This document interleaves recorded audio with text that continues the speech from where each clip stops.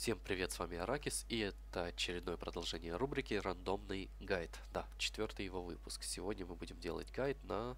Сейчас мы перейдем на наш чудо-сайт. Прошу прощения, камера будет прыгать. Так, 79 монстров. Сгенерируем. Цифра 12. Запоминаем, выключаем браузер. Убрать лаги. Поменьше, так скажем, их сделать. И переходим к монстрикам. Прошу прощения, проблема с носом, приболел. 15, 15. И начинаем мы, как обычно, с феи. 2, 3, 4, 5, 6, 7, 8, 9, 10, 11, 12. О, так, переходим мы к пузатеньким персонажам. Напоминают викингов, в принципе, они так и называются, толстенькие. Блин, похудеть бычевочку. Ладно, будем делать мы сегодня обзор на викингов. Итак, перейдем к скиллам. Персонаж, кстати, защитный. Первый скилл атакует летающим топором, наносит э, дот damage over time на 3 хода с 30% шансом. Плюс у него растет с повышением скилла этот шанс и также урон. Так, перейдем ко второму скиллу.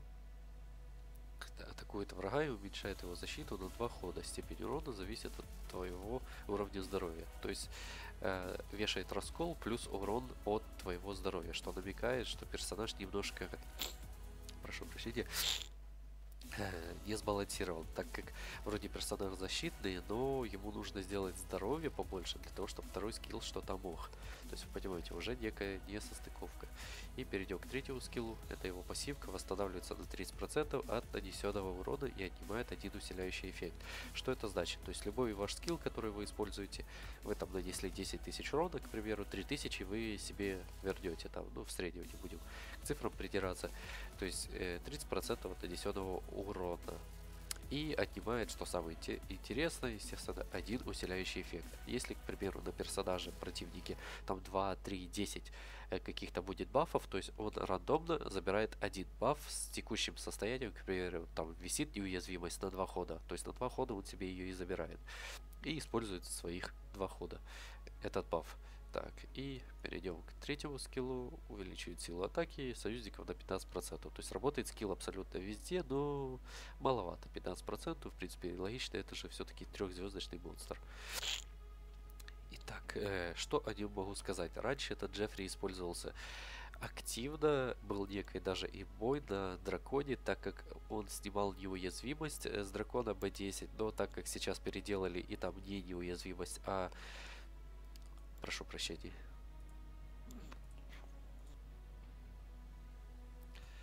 Так, мы продолжим. Э, раньше использовался он на драконе, так как он воровал неуязвимость B10 дракона э, на два хода. И, следовательно, он сам в соло, там, пятизвездочный какой-то Джеффри, в самых плохих рунах, естественно, он должен дойти до этого дракона. Даже если он один остается, он его убивал. Но не буду подробнее об этом говорить, так как сейчас эта фишка не работает. То есть баф поменяли, и толку от него там уже не особо много. Но я знаю, что этого монстра используют, то есть по началу игры, в принципе, неплохо. Э, почему бы нет? То есть кого-то атаковать, плюс еще и бафы какие-то э, стыбзить. Даже если, вот, к примеру, на нач... Э, по началу игры, если у кого-то есть там э, тот же кто, кто, кто, Теомарс. Теомарс, да, то есть вы его довели до кондиции, у него появился баф непобедимость. И вы Джеффриком, у которого тоже, допустим, осталось очень мало хп, тырите, мало того, что добиваете, так еще и тырите у него этот баф. Плюс вы становитесь Теомарсом, да. Такой Джеффри Теомарс, которого убить нельзя будет, пока с него не спадет этот баф, либо его не снимут. В принципе, прикольный персонаж, но не более того. То есть сейчас этот персонаж уже мало где используется, раньше его хотя бы на драконе юзали. Поэтому атак, да, он живучий, он может очень долго жить, защита хп, то есть он танк, плюс который, в принципе, неплохой урон наносит, так еще и раскол есть со второго скилла. Но скажу так, средняя оценка моя для начала его игры семерка хорошая, что в атаке, что в защите он может неплохо себя показать и даже помешать. Но скажу по рунам так, что естественно, для него топчик это Виол плюс контратака. Для чего Виол? Для того, чтобы чаще ходил и чаще воровал бафы плюс хилился. Но, скажу так, по началу игры у кого этот Виолент есть, да? А одеть там двух-трехзвездочный Виолент на этого монстра, ну, толку вот этого нет. Проще одеть там, не знаю, каких-то 3 энерджи сета, либо там защитные сеты, которые дают по плюс 15% брони. Поэтому вот так. Ну, перейдем к следующему представителю этого класса.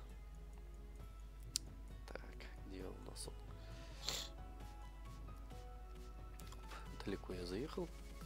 Мгм. Так, так, так. Где он, где он, где он? Что-то я в глазки долблюсь. Где он? Серьезно, что-то у меня.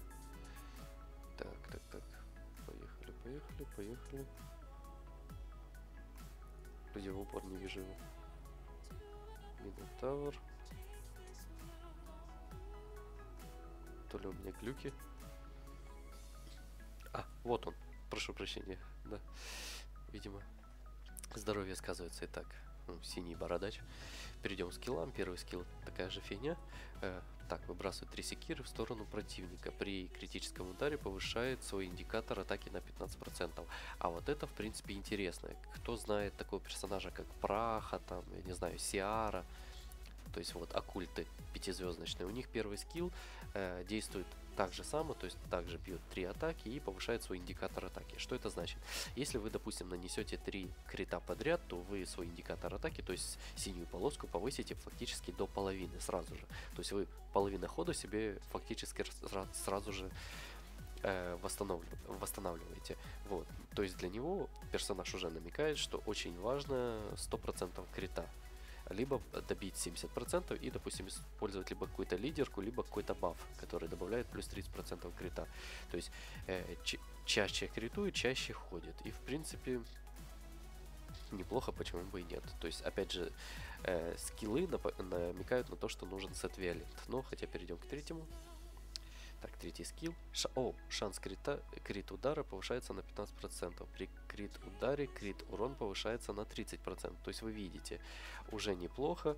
И так, сейчас мы посмотрим, что резня пассивный, понятно. То есть родной шанс 15%, плюс пассивка дает еще 15, это уже 30. То есть вам уже проще добить ему, то есть тех же 100, 100 крита, либо 70, плюс там, ну вы понимаете, о чем я говорю. То есть шанс у него в бою должен быть 100%, а это уже проще. Плюс неплохим вариантом будет, если, ну я не знаю, у вас очень хорошие руны там по началу игры, так как в лейте, опять же, он использоваться не будет. Персонаж все-таки тонкий по хп и по атаке не самый лидирующий.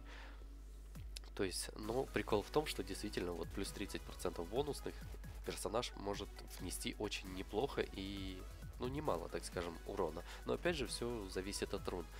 Но на своем опыте скажу так, что, допустим, вот я бы его сейчас не начал прокачивать из-за того, что у него прикольная там пассивка, он сможет много урона наносить, часто ходить и тому подобное. То есть есть более юзабельные монстры на моем этапе, естественно, игры.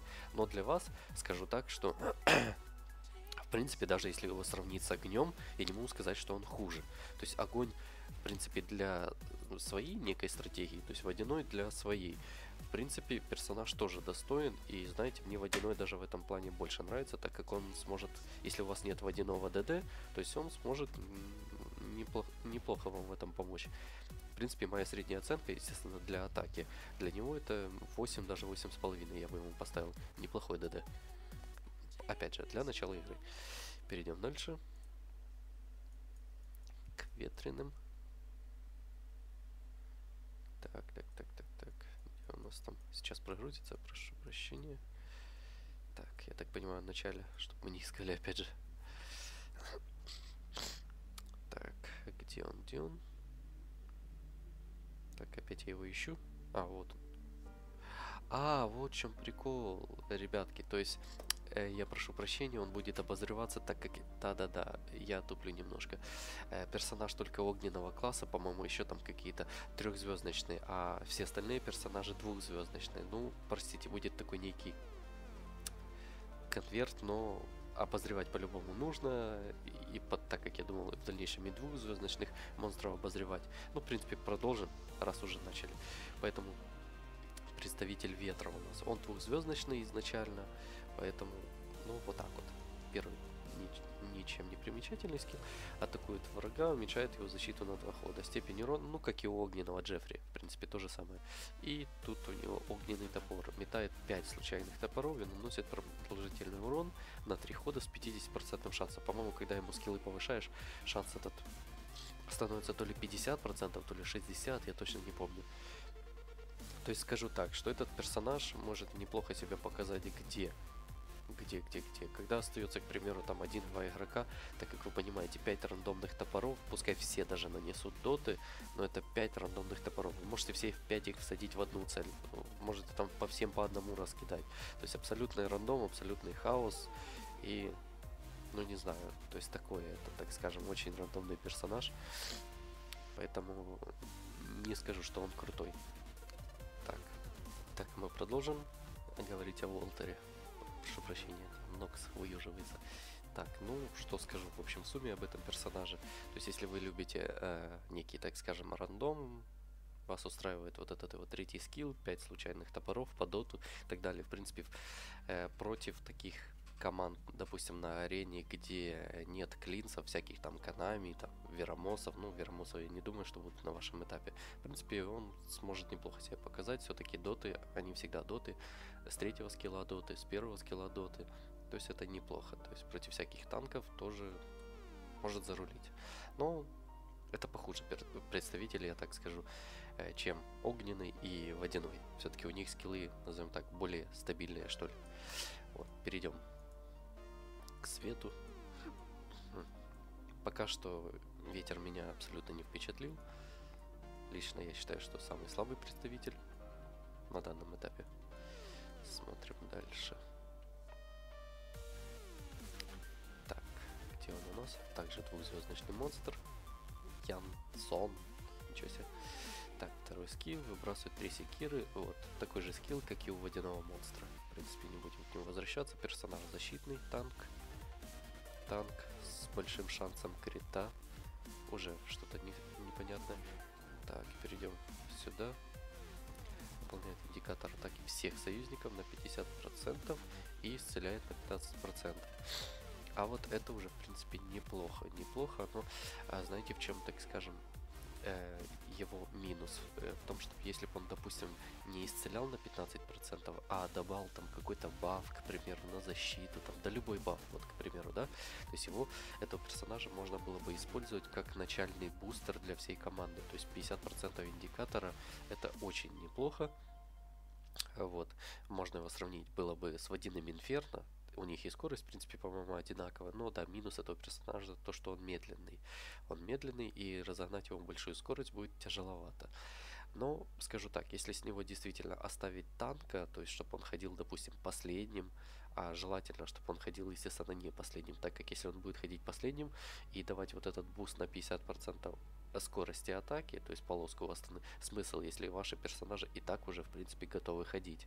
То есть персонаж такой, вы видите, немножко непонятный. В абсолютную скорость его не сделаешь, так как на этапе начальном э, это тяжело сделать. Даже 100, 150 скорости такому персонажу уже тяжеловато сделать. И с другой стороны, смысл тогда того, что он будет исцелять поначалу, да? То есть скилл немножко, я назову так, для такого некого билда не сбалансирован. Я не говорю, что скилл плохой, но опять же, лучше бы он давал какой-то баф, так как этот хил, он не нужен, не нужен. Где-то он сможет и спасти вас, я понимаю, все такое, но... То есть этого персонажа такого вот полезного сделать тяжеловато будет. Поэтому моя оценка, что ему либо скилл нужно менять, либо под него и команду особо хорошей не подберешь. Э, реально проблема в скилле и в его скорости. Если бы у него сейчас скорость была, допустим, 110, да, я бы вам его посоветовал хотя бы для, для буста. То есть вы третий скилл бы использовали для того, чтобы походить первыми. Вот. И это, в принципе, было бы неплохо. Вот. Ну, а так, персонаж так себе. Перейдем к персонажу представителю тьмы. Так, где он у нас? Я так понимаю, только Джеффри трехзвездочный вы видите. Немножко не повезло мне, э, так как я обозреваю по огненным монстрам и подсчет делаю 1-79. Поэтому попался нам Джеффри. Итак, так, так, где наш... Представитель. Ага, и тьмы все-таки, то есть два трехзвездочных монстра, все остальные двухзвездочные. То есть, еще раз, Янсон, а того звали... Ладно, не будем на именах зацикливаться. Так, первый скилл понятно, второй скилл атакует врага и уменьшает его защиту на два хода. Так, такой же, в принципе, скилл, мы его обозревали. Итак, третий скилл, кстати, такая же картинка, как и у Светлого. Не могли додуматься, там какой-то, я не знаю, картинку поменять, там крест нарисовать. Так, вот, воскрешает всех погибших союзников, увеличивает их скорость атаки на два хода. Откат через 13 ходов. То есть это один из немногих скиллов, я скажу так, сейчас чисто в памяти моей поковыряться, я знаю два персонажа. Это вот темный назовем его так, Джефрик, темный викинг, и персонаж, который Анубис. Вот, недавно ввели персонажей, Анубис Света. У него подобный скилл, он также всех воскрешает. Ну, в принципе, для него можно, он же все-таки Анубис. Вот. До этого я и не знал, что есть еще какой-то представитель с массовым, так скажем, воскрешением. В принципе, персонаж интересен, знаете, чем, к примеру, да, вы там в данже находитесь, всех ваших пятерых перебили. И вы тут хоп такие, да, Янсон ходит, всех воскрешает, то есть такой mass, mass res, и вс, вся эта канитель начинается заново. В принципе, интересно, но на практике, э, скажу так, на арене я его не встречал, но в принципе монстра не так легко и встретить, так как все-таки он добывается со свитка света и тьмы, но так, чтобы он активно использовался где-то я не видел. То есть надеяться на то, что он рестнет всю свою команду, то есть нужно дать специально, чтобы сдохла вся ваша команда, это бред. А кого-то одного воскресить уж слишком огромный откат. Вот, вы видите. То есть откат 13 ходов. Пускай даже он два раза улучшится, то есть 11 ходов. Это все равно бред. 11 ходов. Вы представьте, даже если его Виолент одеть, это очень много. То есть это один шанс у вас воскреситься. Один шанс. И, скорее всего, вы будете воскрешать кого-то одного, либо двоих. Так как, если, к примеру, взять арену, если останется один Янсон, и вы будете надеяться на то, что он один, останется, выживет и воскресит всю, всю вашу команду, а смысл от этого?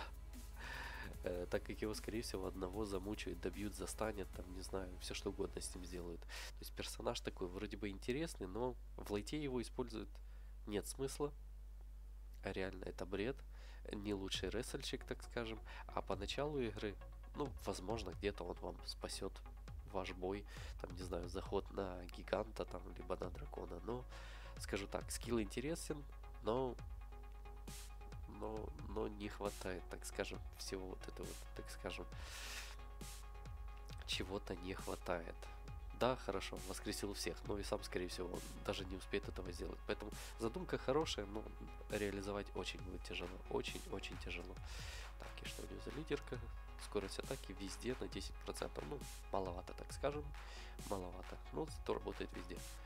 Поэтому средняя оценка за то, что он интересен. Вот его третий скилл, я ему поставлю семерку. На практике и в деле, то есть он мало где использовался бы, то есть это не лучшее воскрешение в игре. Поэтому вот так. Ну и в принципе, это и все монстры на сегодня. А, что еще хотел сделать сегодня, это сходить на мирового босса. Так. Думаю, вам также будет интересно, как я оплошаю. Сколько я набью. Так, этот персонаж у меня раздетый, следовательно, Бетти я использовать не буду. Одеты, одеты, одеты, одеты, одеты одеты, да, вроде бы все одеты. Как я и говорил, старайтесь персонажей подбирать те, которые одеты, и те, которые смогут нести хоть какой-то урон. Вот, к примеру. Так, мой Карлита. Хоть какие-то руны наводит, там самые слабенькие, естественно, самые отстой, там три руны вообще не сетовых и так далее. Но начнем. Надеюсь, хотя бы там тысячу, то есть миллион двести набить. Но посмотрим. Кстати, выпала мне огненная эльфи... О, огненный эльф, прошу прощения, хотя там непонятно, кто там, мальчик или девочка, так пролистаем, неинтересно. Огненный эльф, и вот его я думаю прокачать и использовать на некроманте, так как, в принципе, он неплох. Первый скилл наносит 3 атаки, если шанс крита большой. Второй скилл наносит 4 атаки вместе с дотами, что тоже приятно. На боссе в конце 100% все влетит в босса. И третий его скилл там баф дает. Поэтому неплохо. О, ранг P+. Блин, я же набивал А-. В чем проблема?